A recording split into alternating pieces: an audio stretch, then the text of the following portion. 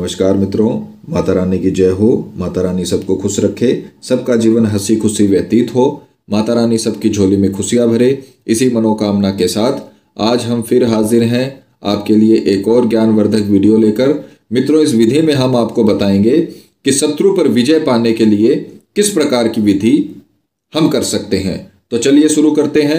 मित्रों, शुरू करने से पहले अगर आपने हमारे चैनल को सब्सक्राइब नहीं किया या आप हमारे चैनल पर नए हैं तो चैनल को अभी सब्सक्राइब करें, साथ ही वीडियो को लाइक करें ताकि चैनल पर आने वाली सभी तांत्रिक वीडियो की जानकारी आपको मिलती रहे। और इसके अलावा आपके जीवन में कोई भी समस्या है, जिसका अनगिनत उपायों के बाद भी आप समाधान नहीं कर पा रहे हो तो आप हमें बेझिझक संपर्क करें।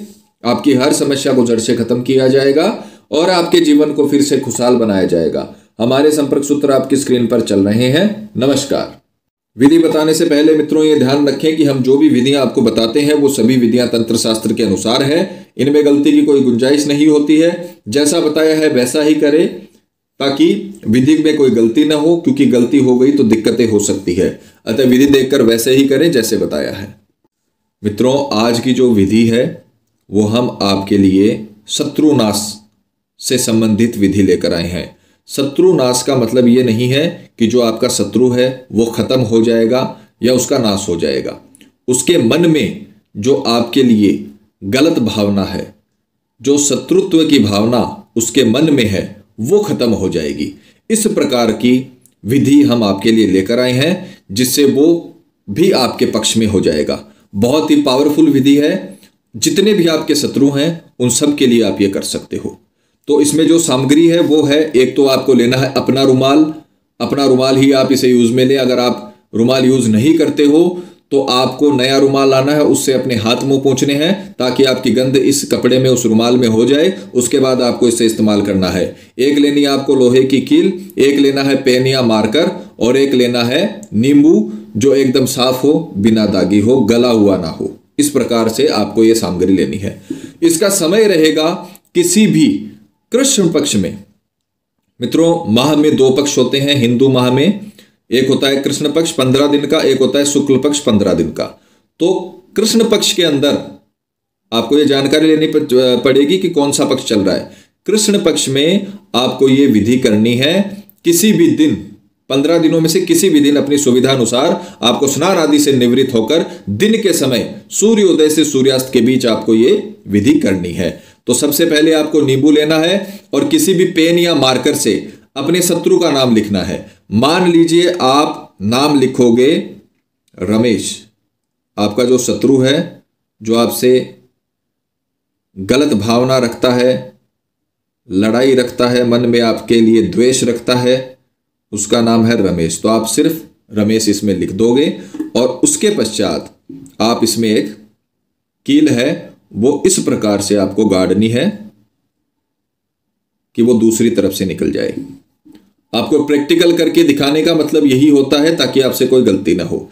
ये कील आर पार होनी चाहिए। कील आपको आर पार करनी है, उसके पश्चात आपको अपना कपड़ा लेना है। जो आपने रुमाल यूज़ में लिया है, रुमाल ही आप इसमें यूज़ में लीजिए, दूसरा कपड़ा यूज़ में आपको नहीं लेना है। अगर आप रुमाल यूज़ नहीं करते हो तो आप नया ले सकते हो। यह आपको इसमें अच्छे तरीके से बांधना है। हमने जिस प्रकार से बांधा है, उस प्रकार से आप बांधिए अच्छा रहेगा। उसके पश्चात आपको एक गांठ लगा देनी है। ये आपको पोटली तैयार कर लेनी है।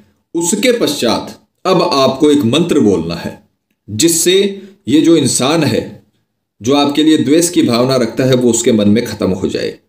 अब आपको एक मंत्र बोलना है, इसे सीधे हाथ में आपको लेना है, उसी समय, और आप एक मंत्र बोलोगे, मंत्र है, ओम हन। हनुमते शत्रुनाशम हुम फट स्वाहा। श्री बजरंग बली का मंत्र है जो शत्रुनाश करते हैं। और यह मंत्र बहुत पावरफुल मंत्र है। किसी को हानि नहीं होगी, किसी को हानि नहीं पहुंचेगी। हानि पहुँचाने वाली विधि नहीं है ये। हम जो भी विधि आपको बताते हैं वो बहुत ही सात्विक होती है।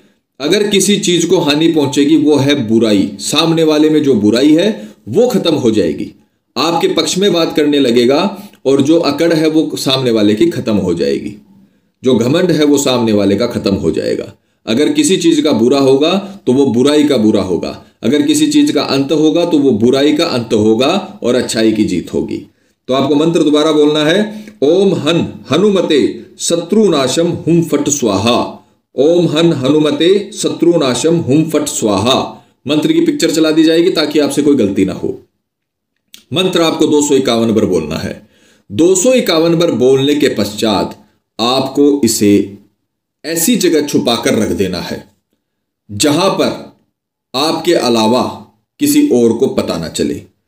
ध्यान रखिएगा, जितने दिन ये आपके पास है, उतने दिन इसे कोई दूसरा छुए ना। इस बात का पूरा ध्यान रखिएगा, किसी दूसरे का हाथ इससे टच नहीं होना चाहिए।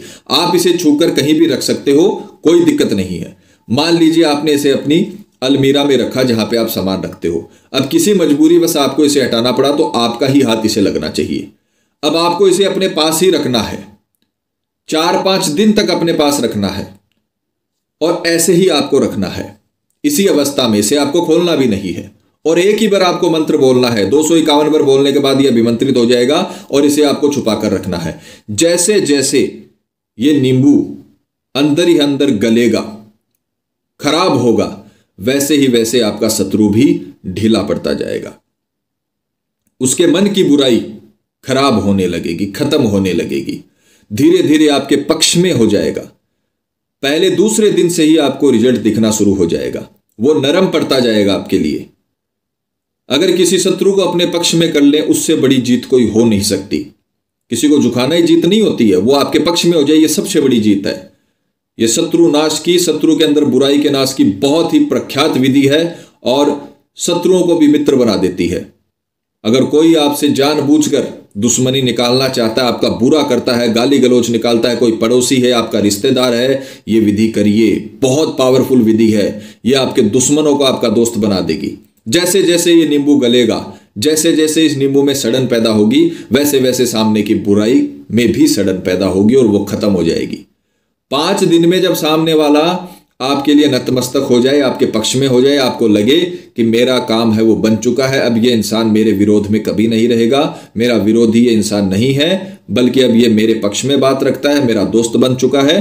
तब आप, ये पूरा कर्म जो आपने किया है, उसे आप बहते हुए पानी में, बहते हुए नाले में डालकर प्रवाहित कर दीजिए और इस काम को शांत कर दीजिए।